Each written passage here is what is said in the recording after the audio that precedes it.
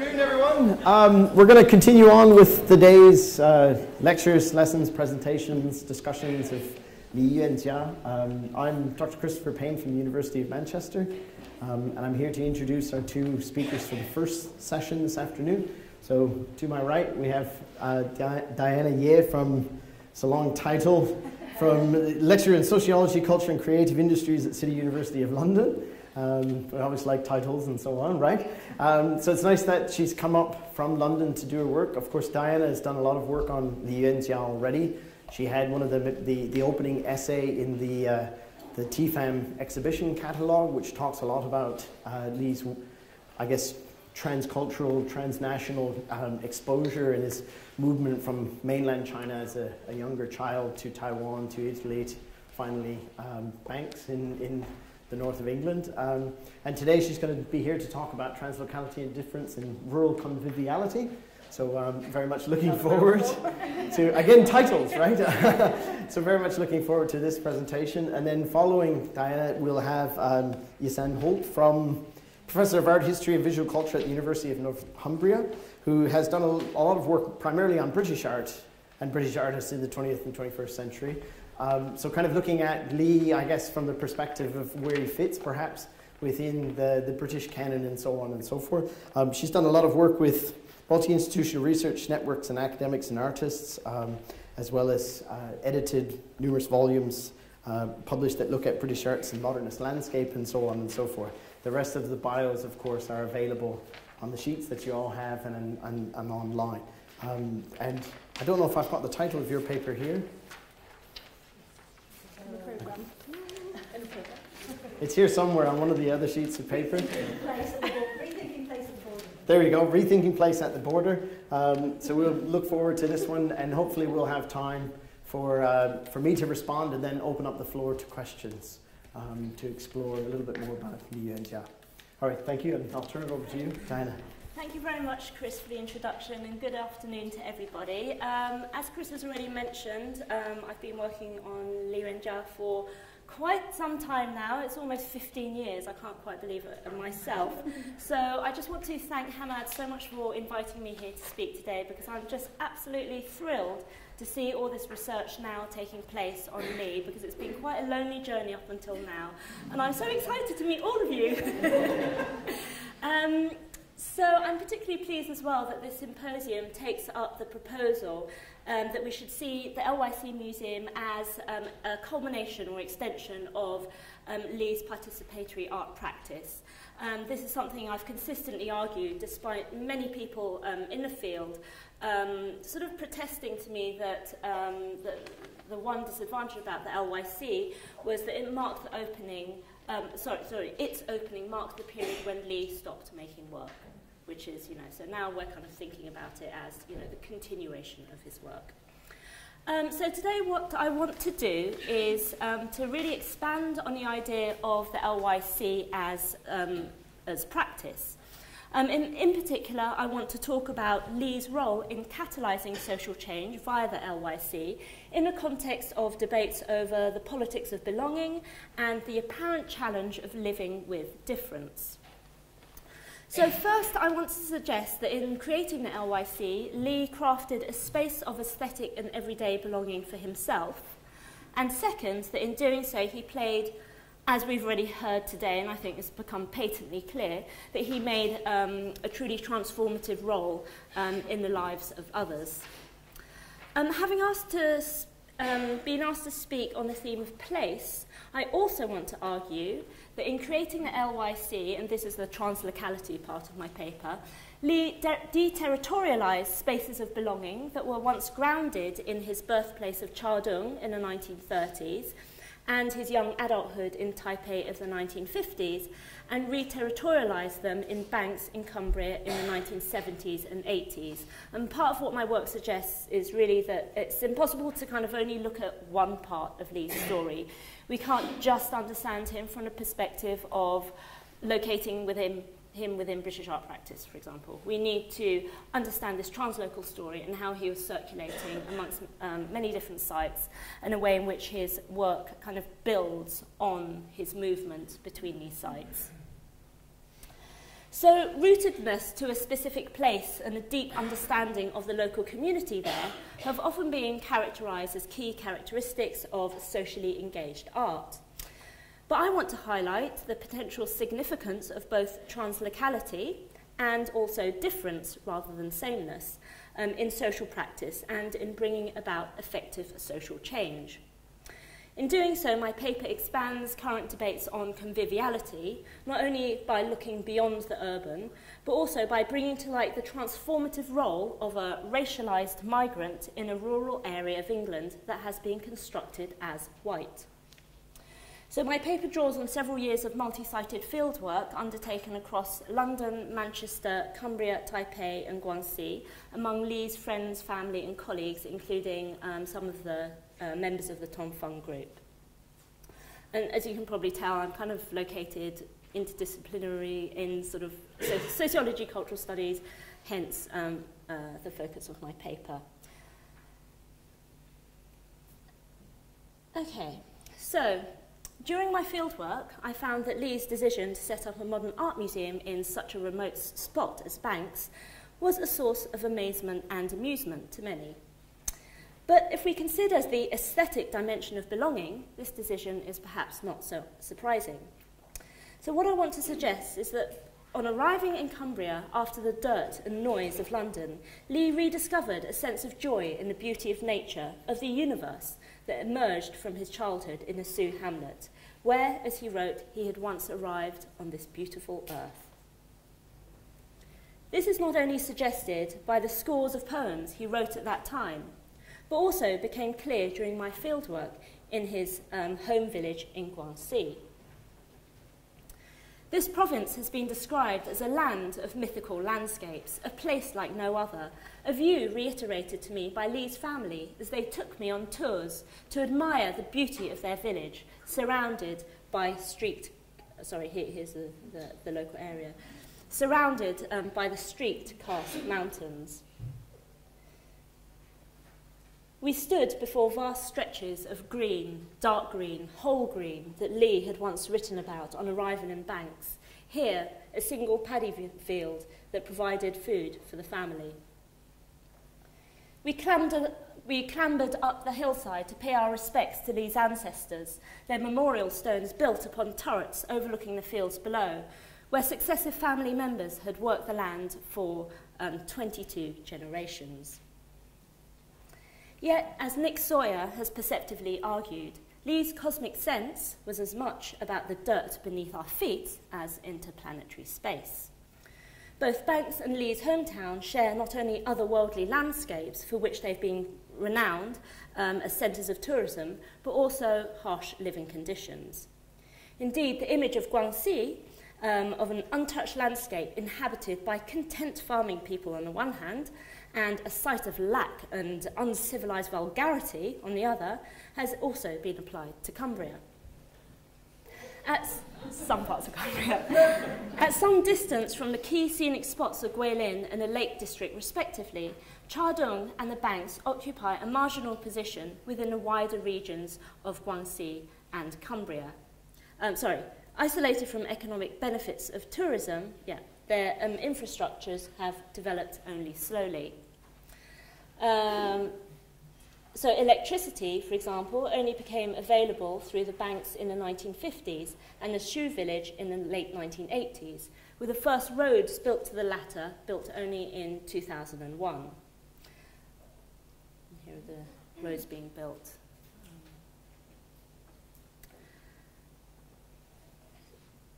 Uh, both are also subject to extreme weather conditions.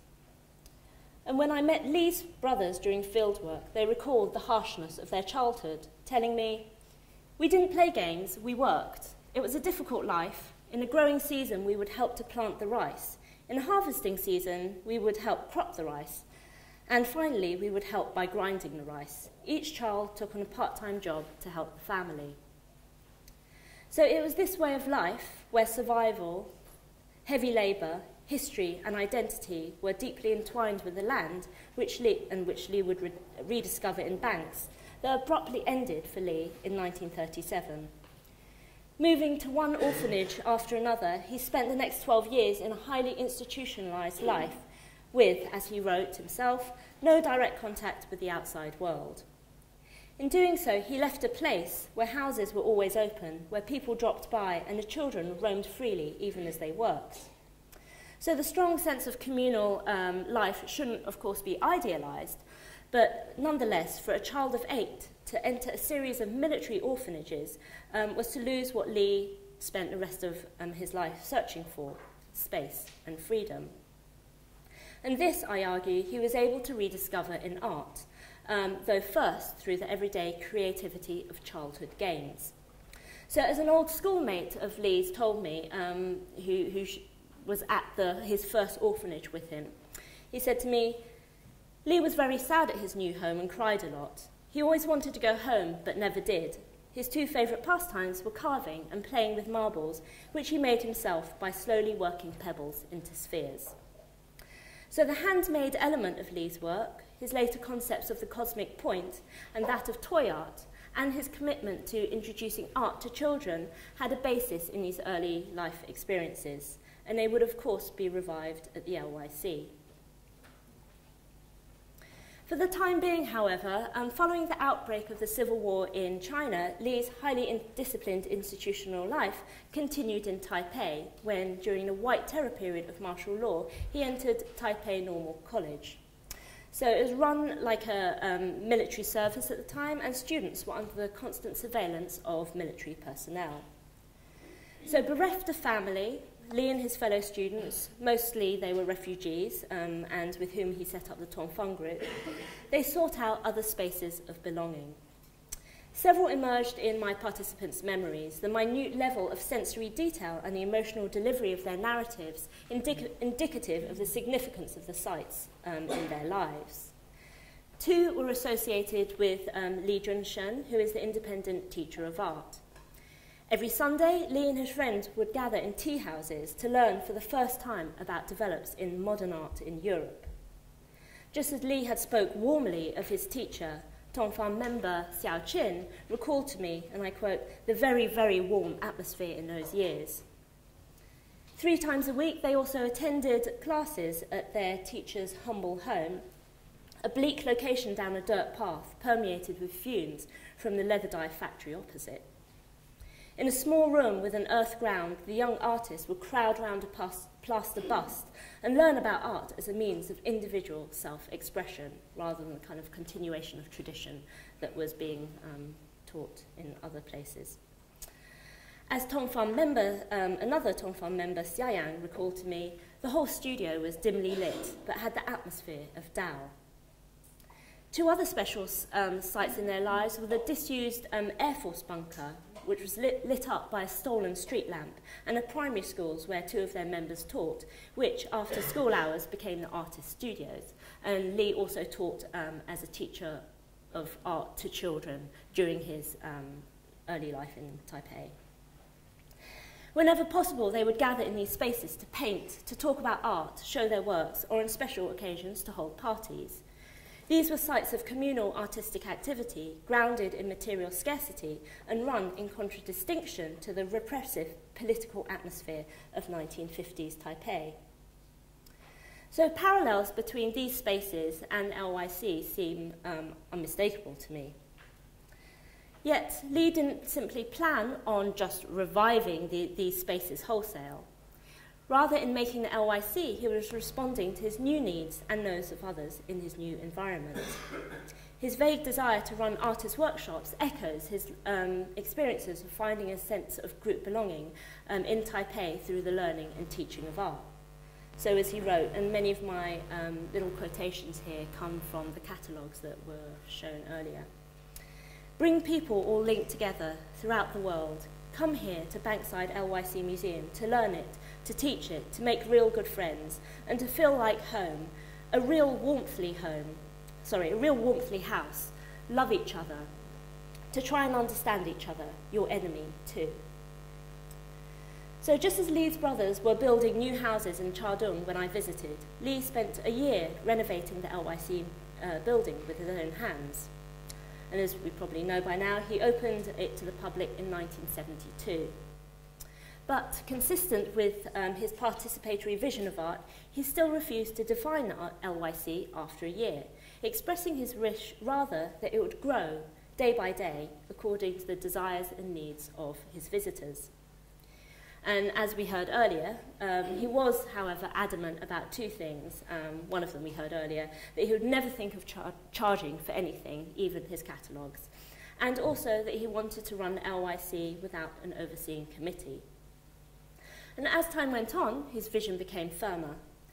As well as encouraging artists, I want to encourage everyone not only to become aware of and to begin to appreciate all new forms of art, but also to begin to express themselves um, to make art a part of their everyday lives rather than just something in a museum or gallery.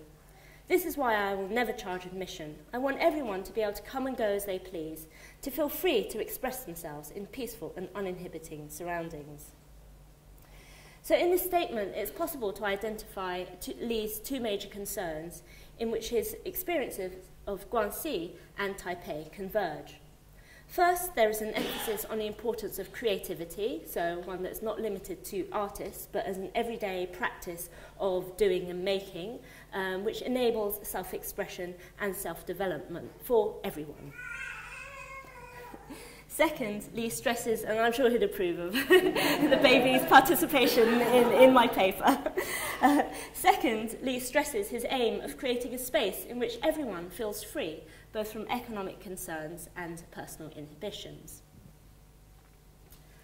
So next I want to um, talk briefly about um, participants, my participants' multiple perspectives of the LYC um, to highlight its variegated meanings and the ways in which it became a space of shared value and belonging for diverse groups. So, despite Cumbria's iconic status within British aesthetic discourses, in the 1970s, according to my participants, the presence of modern art was scarce. As Mary Burkett, former director of Abbot Hall, told me, in this context, the LYC became the local Cumbrian art world, modern art world. Northern Arts, the regional funding body, agreed, supporting the LYC for its potential to act as a hub for otherwise isolated artists across the region. And for emerging artists, musicians and poets who couldn't penetrate the exclusive art worlds of 1970s Britain, the LYC offered a place to see the work of others and to show or perform their own. So, as is well known by now, over those 10 years, um, Lee held exhibitions, concerts, and poetry readings for um, more than 300 artists, poets and musicians. And while some, for example, Andy Goldsworthy, David Nash, Michael Longley and Francis Horowitz have since become well recognised, most were either unknown or beginners at the time. But uh, to encourage not only those pursuing modern art, but everyone to make an art to make art a part of their everyday lives, Lee displayed a range of, as he wrote, the possibilities of human achievement, from Roman relics and antiquities to different sorts of pictures and sculptures. He also built a communal arts room. As Joy Dee, who is here with us today, um, Lee's one-time assistant, has commented, it was always the most popular space, and it gave people the rare invitation to reflect and to make, whether or not they bore the title of artist or poet. In inviting um, locals to run workshops in crafts such as doll or puppet making, weaving, poetry and rug making, Lee also legitimised the talents of those, often women, marginalised by dominant aesthetic discourses, esteeming fine art over craft. Even those who didn't engage in activities usually considered craft, such as baking or jam making, found their creations gaining new value at the LYC. The impact of the LYC on um, local youth was immense too, nurturing artistic careers. Artists told me how they wouldn't have gone to art college if it hadn't have been for Lee. They recalled how Lee catered to them as young children by providing a room with especially low tables, free materials and Lee's own work hung at child height. The respect towards children's creations and the importance of, um, sort of teaching and learning that Lee had both experienced in his childhood in Guangxi and developed as a teacher in Taipei was revived at the LYC. He not only spent every Saturday working with children, but also took their work seriously, even inviting them to exhibit um, alongside their parents in what he um, developed as family exhibitions. So one um, artist who was a participant in my research recalled hers, remembering not only that did her children sell, and I quote, tons of work, they sold tons of work, but they were also treated as stars, and we were treated as stars, because everyone who exhibited at the LYC, whoever they were, were always treated as artists and stars. So while El Lee wanted people to learn, to teach, and to make real good friends, he effected his aims not through didacticism, but through space and freedom. As one another participant commented, it was more possibilities and opportunities than showing somebody how to do something. That openness that you can take this in any direction you want, that's what allowed people to do what they needed. This ethos was built into way, the way the LYC was run. For periods, it was open every day of the year, even on Christmas Day. Not only was the building open, but the spaces within it were too. Lee left his kitchen open, welcoming visitors to drop by for tea or to make something to eat without charge, and created a library of all kinds of books so anyone can come and read them. The LYC became a community space where people could meet to share ideas, attend workshops and events, or just drop by. And um, this was a similar kind of hospitality that I experienced from Lee's family when I dropped by completely unannounced to their home during field work. And I was probably the first um, person from Europe to go to that village in probably a long time. so in creating the LYC, um, Lee, a racialized migrant who was sometimes called the Chinaman locally, was able to bridge differences in ethnicity, age, gender and conceptions of art across diverse groups, from gallery directors, arts funders and artists, as well as those who bore no claim to an artistic identity.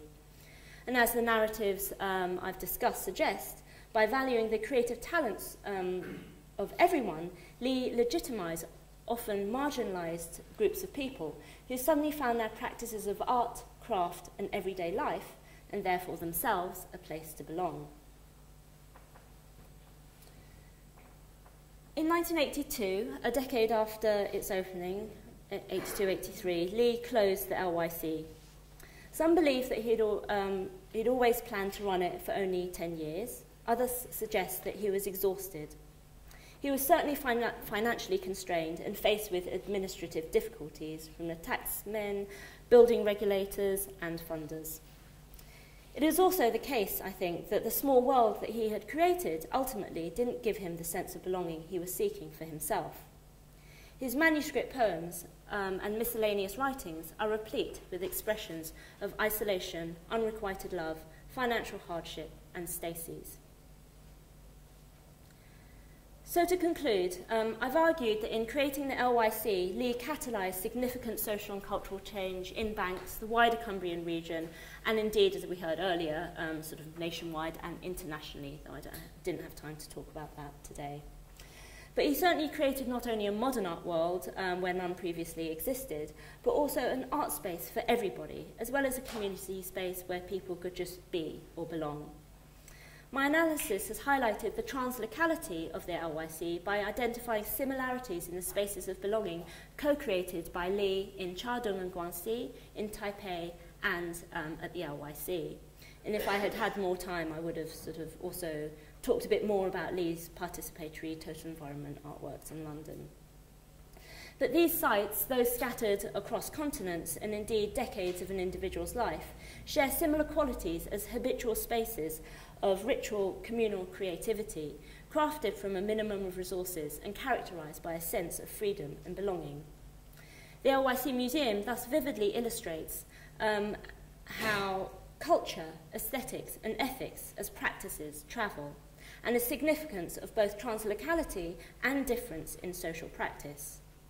The warmthly house, um, as he called it, that Lee created challenges popular discourses that tend to highlight the help that migrants require to achieve integration, or that focus on the supposedly unsettling effects of immigration and the threat that, that so-called multiculture brings to a so-called white Britain. The LYC shows how racialized immigrants are able to create places and introduce practices, cultural objects, and ways of living that are valued and meaningful not only to their own ethnic communities, but also to those constructed as indigenous. In other words, the LYC provides evidence of the value of difference in social practice and in bringing about effective social change. Despite this, however, the limits of Lee's own belonging at the LYC and um, in Britain more widely cautions against any celebratory discourses of conviviality. Um, someone mentioned earlier the dark side of the moon. And this, this case, I think, returns us once more to the very real and continued challenges faced by racialised migrants in making a home in diaspora. Thank you.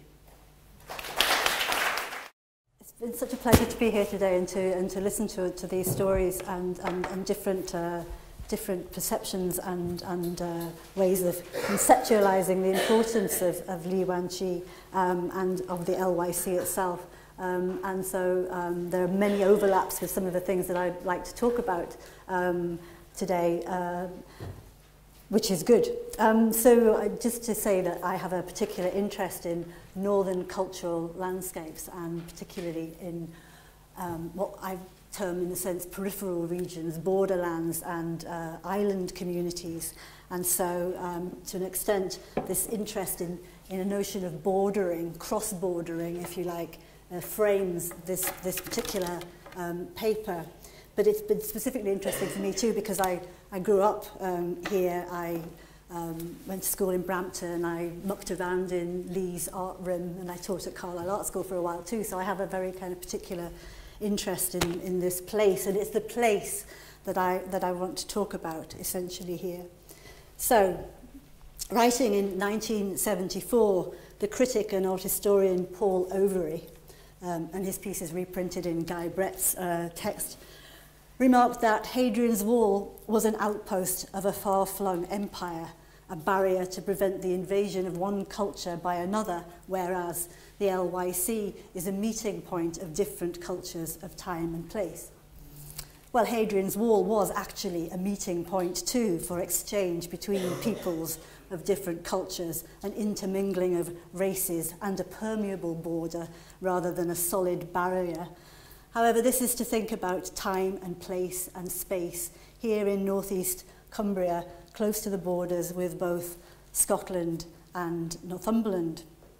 Hadrian's Wall, and as filmed over on the right uh, in 1933 for Pathé's film Walls, which had comparative aerial footage of the Great Wall of China. Mm-hmm. Um, always a very particular place of social and cultural encounter. So place here is marginal, as in at edge, a place often but not always of solitary topographies.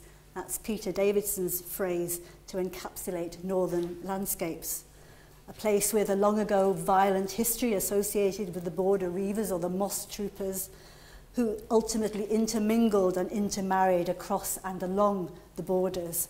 A place then of long-standing interactions, shared identities, traditions, heritage and common material resources. So a hard, not a, but, not a hard, but a soft, a permeable border or a borderland, a hybrid space, and certainly not remote, not in any static or timeless sense at least, Rather, this is a fluid, a lived, and a relational place a place in a state of becoming. And with this relational understanding, as opposed to a settled notion of place, place or landscape is understood here not as a space or a terrain to be perceived, but as an evolving site of habitation.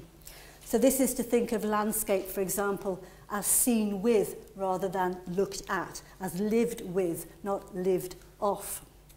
And this particular conception frames to me the importance of the LYC Museum and Art Gallery, placed then as mutually constituted, overlaid with human and non-human interactions, with resources, wood, soil, stone, wool, and its objects and commodities.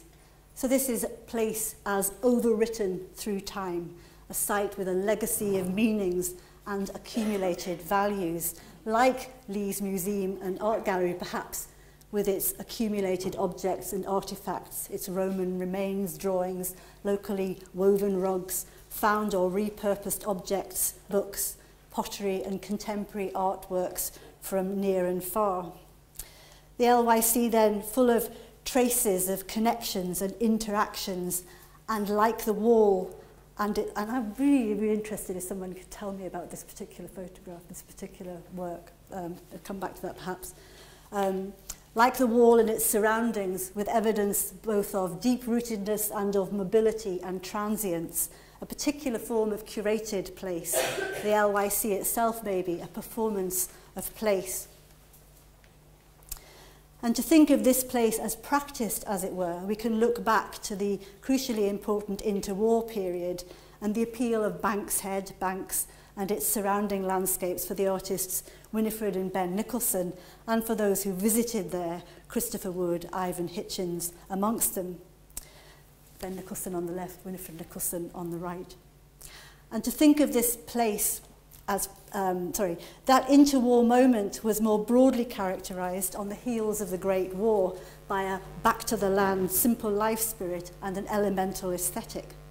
The cultural critic Raymond Williams once spoke of a tendency at moments of national crisis for what he termed a sustaining flight to the edges of the island, to distant places, coastal communities, borders, and so on. And something of this, perhaps, underlay the importance of Banks Head for these artists – the renovated farmhouse, a place to draw others together. The Czech art critic J.P. Hodin saw Ben Nicholson as uniting geometry and the primitive, and the interior of Banks Head at the time similarly presents a mixture of vernacular furniture, stone flags with Mondrian on the walls, simple, unpretentious, harmonious, local and international. And there's something of a revivified arts and crafts aesthetic here, with pertinent historical connections, of course, in this area, and with a wider context in that interwar crafts revival, a modernizing of past traditions, weaving, studio pottery, and so on. And in terms of my focus here on engagements with material resources as producing material communities and attitudes to regional craft displays, the complex knots and loops typical of the period. In this context, Winifred Nichols' interest in the local tradition of hooky and proggy mats made from saved up home dyed scraps of blankets and old clothes or bought from the nearby mill at Otterburn in Northumberland, a craft born out of necessity and limited means, a concern allied to the interest in interwar craftsmanship at the heart of British modernism, some of which more broadly underpinned bodies such as the 1920s Rural Industries Bureau that was aiming to boost struggling local economies while at the same time maintaining craft traditions um, that were passed down through generations and in danger of decline. So there's a, an idealism and a practical spirit at play here, a linking of past and present for a sustainable future for this place. And we register something of this sensibility transformed too in many ways forward into the 1970s and to the values of the LYC represented. The 70s, of course, a period of increased environmental and ecological consciousness as represented by degree in the forms of land art and revived interests in nature, natural materials and landscape. And a key touring exhibition of this period, organised by the Arts Council and curated by art historian Andrew Causey, was Nature as Material of 1980, which spoke to many of these cultural, social and environmental concerns. Causey had visited banks where, of course, Paul Nash, a key interest of his, also visited in the 1920s. Indeed, Causey wrote an article in Studio International in 1977 that drew parallels between Paul Nash and British land art For him, this land art had a pragmatic, non-hierarchic attitude to materials and a, quote, predilection for the wastelands of the Pennines and the Celtic fringe. And unlike the work of many American land artists, something of a, this is still Causey, a pastoral society's respect for nature a cooperation rather than competition with nature, so it's a seeing with. Included in nature as material and at the LYC, of course, as window was sculptor David Nash, based in Wales, whose practice working with natural materials and living trees produced or assembled minimalist structures that actually bear some relation to Paul Nash if we think of some of those tree former photographs like Monsterfield, etc. Although David Nash, of course, was also quite you know, related to American minimalism. His works were process and time-based and connected to a particular vision relating art and life. In his own words, David Nash sought a simple approach to living and doing, a life and work that reflects the balance and continuity of nature, his ambition to be woven into nature, as he put it, as with those famous planted works like Ash Dome, or here, this is Running Table. His was a spirit, it seems, fundamentally attuned to Lee's own, and his was a practice that was also attuned to the local and participatory ethos of Grisdale from 1977, which was a, is a, was a residency-based public sculpture park in the forest. And I'm going to come back to Grisdale at the end because I'm interested in the legacy of these moments for various um, initiatives later on. And so to Andy Goldsworthy, this is Hazel Stickthrow, a form of drawing in space, if you like. His works also included in Nature as Material, and he made work at Grizedale, of course. And as we know, he had his first show, solo show at LYC in 1979, including this, and again, I think two or three years later. Um, and Goldsworthy's focus too was with uh, process, materials, the temporal, the ephemeral, And in common with much contemporary practice beyond simply land or environmental art at this period, stating that when I'm working with materials, it's not just the leaf or the stone, um, it's the processes that are behind them that are important. Sorry, now this is a terrible image, but I just wanted to see them in, in sequence. So there's a sense of embodied space, of bodily presence and engagement in the world embodied space then as the location where human experience and consciousness take on material and spatial form.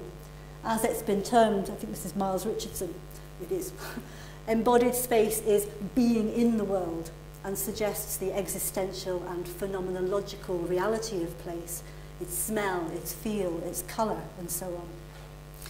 And this sense of being in the world seems to speak of Lee's own sense of and relation to his museum, his artwork, his environment, his idea of an artist, his presence in the landscape. And I'll come back to this too. Both Nash and Goldsworthy were also shown in the 1982 exhibition at Carlisle Art Gallery, Tully House, titled Presences of Nature, Words and Images of the Lake District, although the diverse works by artists, writers, photographers and craftspeople were made of and in response to the county, well beyond the lakes too, the lush farmland of the Eden Valley, the Brigg, rolling fellsides, Hadrian's Wall and so on. Lee visited the show and liked it, although thought it had too many photographs in it. The catalogue contains poetry by Francis Horowitz, including A Dream dedicated to Winifred Nicholson, Roger Garfitt and Rodney Pybus, who had all previously contributed to the LYC publication Wall, and we saw the image from that catalogue before lunch. And before this exhibition, of course, the LYC regularly showed the work of craftspeople, weavers, woodworkers, ceramicists.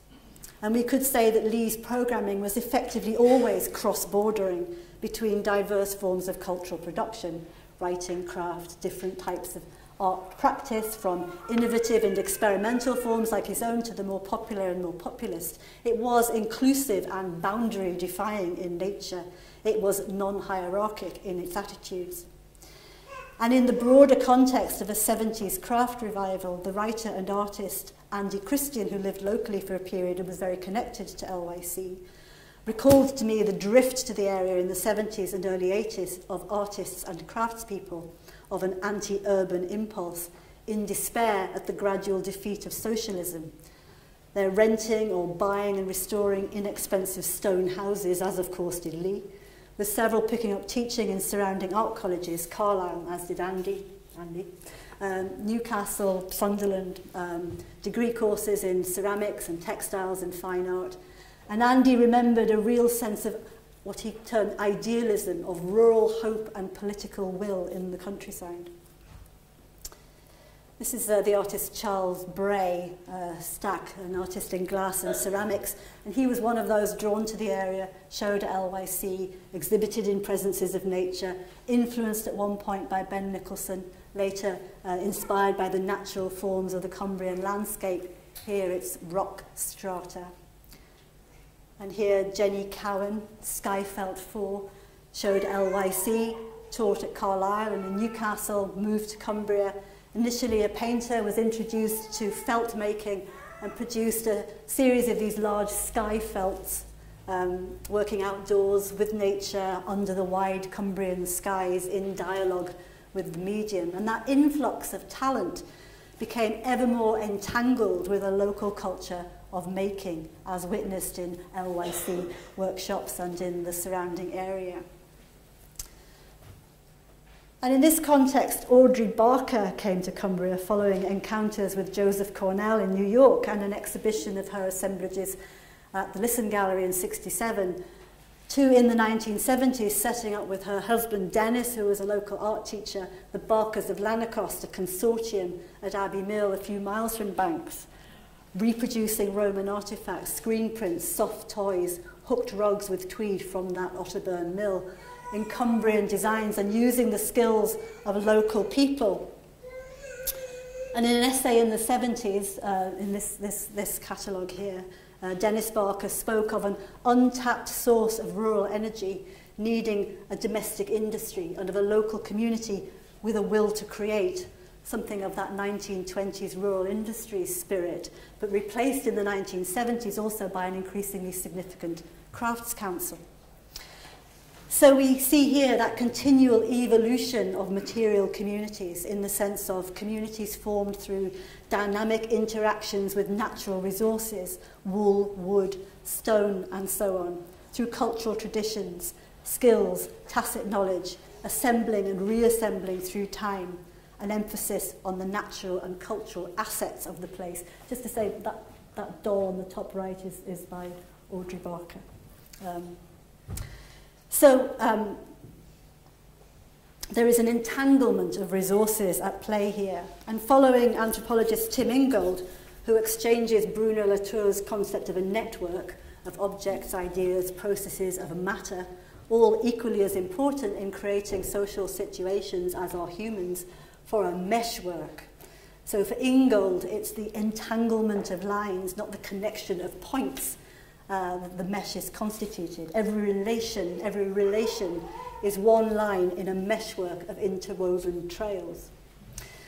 And in this particular community context, these textile-based metaphors are very apt, I think, for understanding the density and texture of social connections, the fabric and web of social life, the interweaving, the interlocking patterns of relationships, the close or loose ties through which social actions are organized. that shuttling back and forth in a loosely framed space engenders an endlessly shifting set of interrelations between people, objects and nature and takes us back to the entangled mesh of interwoven and complexly knotted strands. And the LYC, I think, is at the heart of this. a material community then actively constituted through an ongoing layering and weaving together, I'm overdoing the weaving thing here, of resources and heritage. So it's a culture of making. As John Dewey noted, art makes communities, communities make us, and a conceptualization of artist as artisan. And a sense of this struck a chord with the local press, um, in 1975 with an article, Why Lee is Looking for Friends, the heading, Lee the Deserving Artist. And you can't read it, I don't think, but it says, the plucky Chinese artist who has laboured long and hard over the years to transform what was a tumble-down old property into a modern museum and art gallery where he maintains a high standard of exhibits. I think that sheer graft kind of really appeals to, to the local population. Um, Lee, it goes on, is looking for people to become friends of his museum to back up their membership with a modest sum of cash. They'll receive discount on items. That's interesting. Uh, free access to catalogues, use of the Arts Theatre and the LYC Library. The ultimate ambition to have an art school running at the banks where people can come and express themselves on canvas. That's all in, in there. So Lee was looking for friends So the museum might survive, but this was also underpinned by a strong desire to be useful to the local community, to be relevant, always border crossing between people and place, forms and practice. And so just across the geographical border to Scotland for a while, Richard DeMarco's fascinating British Library interview describes Lee's museum as a placemaker. Worryingly, though, he thinks it's in the Lake District. as Lee himself as a successor to Kurt Schwitters. And uh, Demarco also records that he introduced Lee to Joseph Beuys at the Edinburgh Festival in 1970, which was Beuys's first significant stay uh, in Scotland. And I think Beuys's practice in the 1970s, particularly his social sculpture actions, um, are important for this discussion, all based on that belief that art can make a difference to society through the creation of situations enabling participation and interaction. For Beuys, everything is art. Every aspect of life could be approached creatively, and as a result, everyone has the potential to be an artist. And that thinking and something of that Beuysian model of the Free University underscored Demarco's programme of experimental summer schools between 1972 and 1980, Edinburgh Arts which is initiated with the University of Edinburgh and the North American Students Association as part of a transatlantic cultural dialogue. And many of the students who participated were from universities in the USA, but they involved students and artists and writers, performers and teachers, um, and many others from Britain and Europe. It was a liberal, experimental approach to arts education, sparked partly in response to uh, examples such as Black Mountain College in the North Carolina in the US. I'm drawing on the Richard Demarco archive here. Um, and his ambition was to open participants in Edinburgh Arts to new pathways for self-determined creative action based on encounters and exchanges with diverse people, artifacts and events. And Edinburgh Arts Summer Schools evolved into a series of journeys, the journey itself central to the learning experiences that Demarco evolved. And he spoke of weaving together, sorry, geography and cultures, the past and the present, prompting self-discovery and creative growth. Visits were made and included um, uh, Ian Hamilton Finley's garden Little Sparta in the borders, and at least I think on two occasions uh, to the LYC, where the travellers were made welcome by Lee, and you can see they're um, in very engaged conversation. The online uh, letter uh, archive also contains this letter um, from Lee to Demarco, uh, thanking him for his visit and reflecting on a recent program um, that he on, on that, Demarco had, had made. You can read it, but you know what arts are to me. Um, the arts are life plus beauty. The arts always have a good relationship with our daily lives. If we exist, the arts exist. If we no longer exist, the arts cease to exist. so we know the arts and we know our lives. We will know that our life is all about yesterday, today, and where we will go tomorrow. Well, I must go now as I'm busy and will let you go free. Great line. Financial support for the LYC's existence, however, was an increasing problem, as we know. Witness another local press article in 1982, a um, threat to Lee's seven days a week art gallery. The popular gallery on the fringes of Hadrian's Wall with visitor numbers of 30,000 a year was likely to close if the Northern Arts grant of 12,000 uh, per annum wasn't doubled. So the museum's survival, like those other non-commercial galleries and art centres that were listed actually by Overy in the Times from, as he put it, the mouth of the Tyne to the Solway Firth across the neck of Britain, like the Brewery Arts Centre in Kendal, the Bede Gallery in Jarrow, Sunderland Arts, for example, was largely very due to the support of Northern Arts Association, and Joy was talking about the importance of the Northern Arts Association at that point. You know, one of the first and liveliest of the regional arts associations, um, which, as Overy pointed out, so often acted more humanly and intelligently than the central bureaucracy of the Arts Council. So Northern Arts began in 1961 and it was indeed incredibly enterprising at this point in the, throughout the 70s with dedicated arts crafts, theatre, literature officers who were deeply invested in the region and lobbied on behalf of the most significant developments and practices, particularly Peter Davis, um, who was especially um, dynamic in that, in that context as the arts officer and is referenced to um, in, in this article here. But changes to a model of support and declining funds in general accounted for Lee's experience, his ventures sadly not sufficient, like the buy a brick scheme, leading alongside difficult personal circumstances to eventual closure and a series of remarkable disquieting self-images such as this one. So the extraordinary and exhilarating atmosphere of the museum that Overy had reported upon in 1974 was sadly gone, and an exceptional episode in what I see as this process of cross or debordering, both conceptually and practically, came to a close. But there are, though, current and surviving examples, other models within parts of rural Cumbria and Northumbria with perhaps a similar ethos if very different, of course, in other ways. And so I think there's something to be celebrated about Lee's legacy um, that, that, is apparent. So I mentioned Grizedale um, before. I'm sorry. um, Grizedale, of course, much transformed from its 1970s status as a residency towards a based uh, public sculpture park in the forest, has parallels perhaps in terms of an attitude towards the use value of the arts and the artist.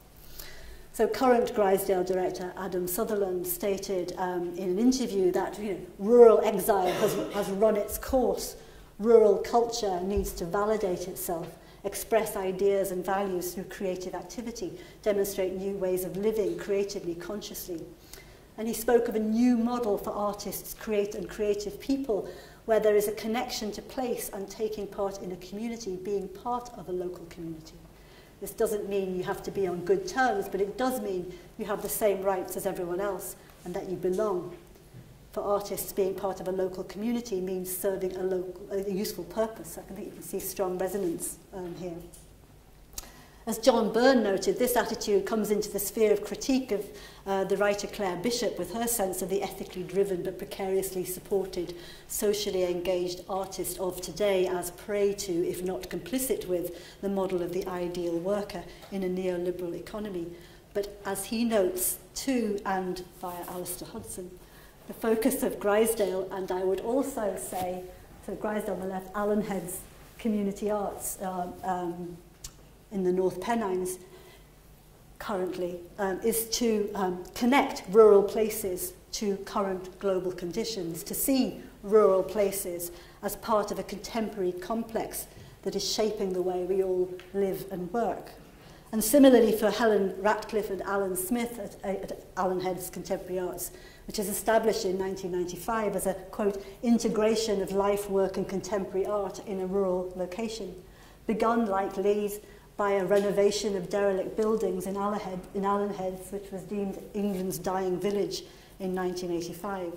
Similarly, ACA is not an idyllic bubble. It wasn't a place to operate, um, it was a place to operate uh, through dialogue in an area this is Helen Ratcliffe, shaped by successive human generations and their manipulation of matter as well as by natural forces. It's not a community arts venue, it is part of the community. It facilitates a crossing of cultures and participates in networks that are about a mutual relevance, meaningful contact and a synergy between people.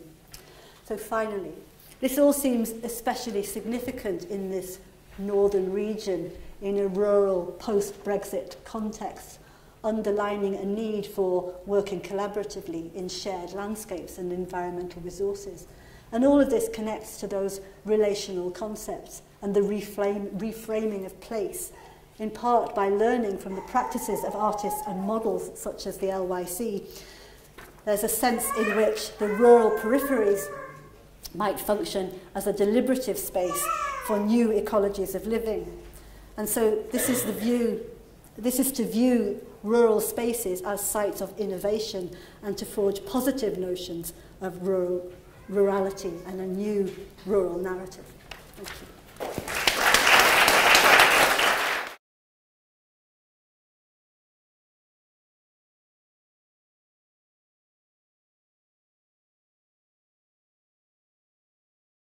Um, and I'm, I'm conscious of time. I guess the one the word that's come to me in listening to these two presentations and now reflecting back on the morning as well is um, the word nostalgia.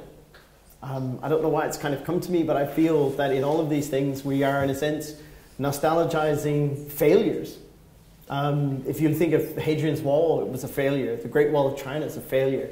Lee's proposal for his museum ended up being a failure, and you see some of that, I think, in his photography after the closure of the museum with this kind of blighted landscape and so on and so forth. So that's uh, something that's come to me, and it's just, I don't know if I'm reading this differently or not, but it's something that I wanted to put out there um, to kind of take that that side of the argument instead of kind of playing it up and how great this place was, and it does sound as though it was a wonderful place, but but it failed, and and that's the legacy of it in a sense. And and Lee's the rest of Lee's life was really sad. He never got home to see his family.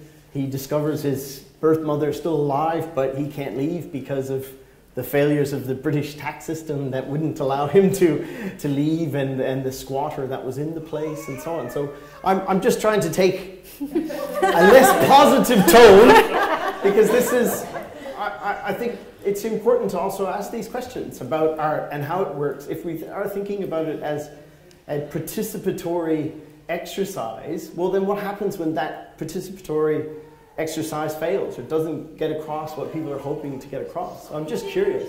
Fail. He said he would only do it for 10 years and then he would stop, and that's what he did. It wasn't that it failed. Right. But I, I, well, I'm just, it's not, I'm not saying it did fail. I'm just, this is something that's just kind of come to me listening to these papers today. That there's this overwhelming nostalgia. Well, I think the last thing, the last thing, sorry, go on. Yeah. So I'm just curious. I'm not, I'm playing devil's advocate. Good, I'm, no, good. What, what, what I would say is that I have sympathy with the idea that um, we must be careful of romanticising Yeah. LYC. Absolutely. And I think that's why I ended my paper with this cautionary note Mhm. about Lee's life and how, because it's very, very easy to say, oh, it was just wonderful, and it was this model of um, conviviality full stop, and it was just wonderful for everybody, and Lee got everything out of it. But, but the fact is, I mean, you know, by the end of his life, he, he actually sort of wrote poems about, um, you know, how he for the first time felt being an immigrant. So he Mhm. certainly felt these barriers to belonging. However, what I would say is that I agree with Helen that, that, that it wasn't a failure, that LYC was not a failure. I would agree that it probably was a huge success. Um, in that moment in it's time, I guess is what I'm trying to, to get Absolutely, towards. At that moment in time, it was a success. But I definitely think we should, we should, we should be um, cautious in not romanticising it. And I think Lee, Lee, I, I think there was, a, you know, that, he, that his sort of taking his past with him came out of a very, very specific and violent history. hmm So there's also, we need to acknowledge um, the violence in that history and not just sort of paper over all as cosmos. you know, there's a reason why he needed the cosmos, right? Yes. you know, um, so, so I, I would kind of agree with you partially. Well, it, like I say, I'm, I'm simply trying to play devil's advocate in this because there's also today, I mean, the, the romanticization of, of nature and rural communities that we want to get back to these, but I mean, that's from a middle class perspective that has the, the financial strength to do these Yeah, so of things. everything I think, so I kind of completely throw, dismiss all of this idea about nostalgia and about romanticizing, and I think, you know, that that was, as you said, it was a particular, you know, project, as it were, an experimental period of time, and it came to an end. And there were, you know, there was partly it was to do with decisions and plans, but it was also the kind of political and the economic circumstances mm. in the arts in general at that particular period. Um, so it came to a close. It, it, it ended. Um, I don't think we have to feel nostalgic about it because I think what is really significant about that is the way that it operates actually a, a kind of a legacy, a way Right. of thinking about the future Mhm. and thinking about how you know we might organ- think of ourselves and not thinking about you know rural spaces, kind of middle class idylls, but actually thinking about people who live and you know inhabit Right. communities. You know, and, and like, for example, the community around Allen Heads mm -hmm. uh, up in the North Pennines, you know, where there is where this is not middle-class people buying second homes. This right. is people who live their daily lives in, in particular types of circumstances. And so I think, you know, thinking about how um, a, a, a, an arts context can be of relevance and meaningful sure. in dealing not just with, you know, rural issues, but also thinking about, mm -hmm. you mm-hmm. know, the, the, the global as well as the, the local, um, Right. which is, you know, what we do. And you live in a rural place, it doesn't mean you're disconnected from what's going Sure. on you know, elsewhere in the, in the world. So, yeah, but it's, yeah, it's good. I'd good. like, I just wanted to get a discussion started. I think Just- I think just to add to um, that, you know, Lee's sense of the land was very much as, um, you know, his family were very, very poor Mhm. family who didn't even own land. I mean, we're talking of poverty that we couldn't even imagine, Yeah. you know, in the 1930s when he grew up. So he had a very, um, you know, they were labourers, that they worked the land. that's indentured. I mean, and he had that particular relationship to Mhm. the land. So it, it- again, for Li, it wasn't a kind of a, Yeah. a romanticised Yeah. notion. It was about bloody hard work. Yeah. But, yeah. but that was part of his identity. You know, he used to write, I, I work, for 10 years I've been working like an ox. Yeah, he says it over Yeah, and again. he, he says it. And he, he, he uh, films the making of the LYC, this incredibly backbreaking work of Yeah, no, bricks for sure. around in a wheelbarrow, you know, but this is part of his identity, but And- not necessarily a and which and which you know really kind of established him within that local Absolutely, community, uh, that local rural yeah. community as well, who recognised that labour as it were. Exactly. Yeah, he, he, him doing the work Yeah. instead of getting someone else to Yeah, come yeah. in to do it for him. right. Great. That, well, I mean, I'll open it up to the floor for questions. It seems like everybody wants to jump on me, and the whole point of these things is for us to talk. And You're doing really well. I'm not going to jump on you, Christopher, but I will sort of quiz the idea of the definition of success and failure. sure. I think we shouldn't mix uh, institutional survival and success. Otherwise, we would say Theresa May's government has been a terrific success. We'll clap for that one. And then we can think of, you know, you can pick any institutional uh, of, of whichever political hue. So Sure. I think that that idea of immortality, Yeah. uh, with actually doing something, of channeling a spirit and then fading away, I think that's something you see very often in artistic institutions, in magazines, in journals. That's about a spirit at a time, at a place, Yeah. uh, which is then fed and then nurtures in, in different ways. The, so the legacy that follows I think on that's from it. To be, so I'm, I'm sort of very persuaded by Ysanne's uh, sort of challenge for us to think about the legacy in non-linear ways, in, Mm. in diffusive ways, Mm. um, rather than wanting that, okay, it's the LYC Museum that's gotten some other heritage grant and it now lives there Yeah. uh, as sort of, sort of some- some mummified creature. Yeah. Mm. Yeah, I also wanted to mention that uh, after the museum closed, really, he wanted also to be free. Yeah. And, uh, so he, he wanted to travel, and so he, he came to, to visit me and Elsa in the Netherlands for the first time in '86, and he really wanted to be also away Yeah. from, uh, you know, so if you have a museum and you work, you know, all the time there. As he did, right. stay there. So this idea that he could also go other places, I think it felt meant for him also to be free Mhm. in another way. I don't know if we've got a few more minutes, maybe. Yeah, go ahead. Can I just ask one quick question? Um, you use the term translocal um, Mm. in both papers, I think, or not? No, not there. Um, I'm curious about, you know, um, you know, you've talked, both talked a lot about how he built um, communities in place, but were there, um, did he, did LYC Museum participate in a network of other um, museums or groups or um, communities? Well, I think Li himself did. Uh-huh. Um, so, so I'm not sure when Li begins in the LYC Sure, and yeah. ends and ends, Yeah. but Li participated. I mean, you know, he, he was doing international curating at that time. He was still in touch with the groups from Tongfang, from Italy, um, that he was um, sort of had been working with. So he was certainly still um, working with these other groups, but I wouldn't say it was a kind of a concerted effort of oh multiple sort of groups coming together to work at the same time. Mhm. It was So much it's more something informal part That's what I don't know if you have anything to add. No, I don't, well, maybe people, Or you might have else. something to remember from your involvement. There wasn't any interaction with other arts activities in the north of England as such. He, he just sort of ran it as he Well, I mean, that was about Yeah, borrowing, exactly. but yeah, Yeah. I mean, He- for he was in example, yeah, there were connections and people coming from different arts context to spend time there. I, I think the, the people who'd answer would be Mark and maybe Nick and people who Well, remember at the um, time. Um, um, I do know that um, uh, Cumbria is a particularly uh, difficult in terms of uh, practicalities, and, and the Art Council did in fact commission at some point a review of how the different arts centres in Cumbria, a huge county Mm. separated by mountains, Mm. uh, could cohere. Mm. And it was quite a long report. The person who was doing the report, I think he's, I think he's still now uh, the chief art, um, arts council uh, in Wales. Uh, I can't remember his name, but he did this report, is doing this report on Cumbria, and his conclusion was that uh, you, uh, there was no chance of it ever, ever cohering in terms of the different Mm. uh, art centres, and there are still several different fantastic Yeah. art centres in Cumbria, but the conclusion was that, um, at that time anyway, uh, that it wasn't feasible to bring them all, all together and work as one. Mm. But I, but I think that the remarkable thing was that Li was that hub.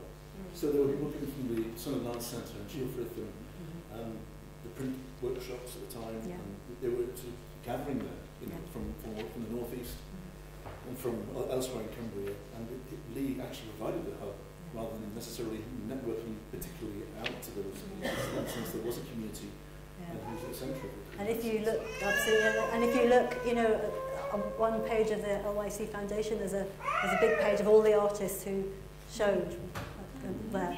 And I mean, if you look at that, the number of the people who are who thereafter had a very particular role in you know arts in the region, Yeah, yeah, stayed there, worked in the the arts, worked in the art schools, and still around, still making work. You know, and that, that, that kind of there's a sort of tradition I think that has continued as a result of that. Diane, you mentioned that, that Mary Burkett knew. Mm. So Mm. was Yeah. she the director of Abbot Hall at that Yeah. At that time, So yeah. So did he have ideas from Abbot Hall? Well, he had dealings with Mary Burkett, I would say. And she, she had, he had dealings with Mary Burkett, and she was a great supporter of his work. And she would go and take people to see, to the LYC, to see his work, to buy his works. Um, but I guess that's what I'm trying to say. It wasn't at an institutional level of, oh, okay, let's, we've got institutions, let's, No, let's no, build no, no. bridges together. No, no. Put in funding really all, applications. You know, yeah. you know, it was, it was much more of an informal thing. I, I Yeah, I think so. That was its importance. Well, on that note, I guess we'll rush off to have a bit of tea and coffee.